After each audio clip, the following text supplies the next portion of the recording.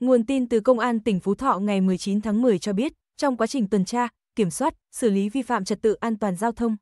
Công an thị xã Phú Thọ phát hiện học sinh dương tính với ma túy.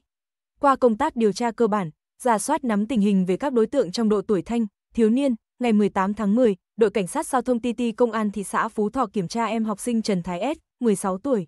ngụ phường Phong Châu, thị xã Phú Thọ, điều khiển xe máy nghi vấn sử dụng ma túy. Kết quả test nhanh cho thấy nam học sinh dương tính với ma túy.